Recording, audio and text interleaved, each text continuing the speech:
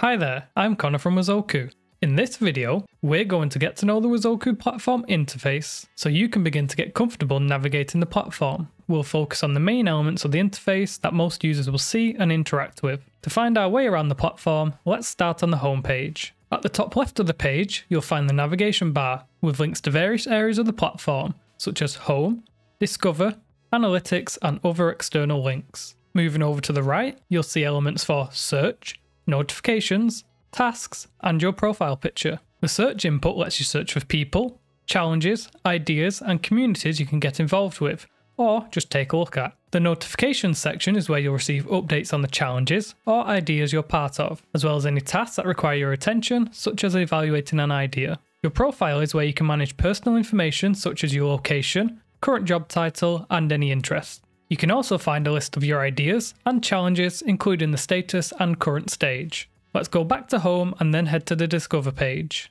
Here you can find all the challenges, ideas, and communities to get involved with. If there's a lot of results, you can filter the available content to suit your preferences. Now, let's have a look at a challenge. A challenge brings the right ideas and people together to solve real world problems and everyday problems in a dedicated workspace, where everyone has the same chance to see their ideas become a reality.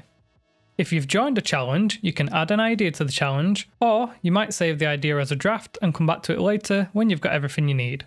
Sharing a challenge can help you find the right people you need to solve a problem or seek out new opportunities. The workflow section of a challenge shows you the stages that ideas will flow through. Here you can see which ideas are progressing through the challenge and what stage or status they're currently in. You'll also see ideas from other like minded problem solvers experts, and decision makers that come from many different areas, departments, and backgrounds. There's a lot more to discover on the Wazoku platform, and we hope you find exactly what you're looking for. If you want to learn more about the platform, don't forget to check out our other videos. Thanks for watching!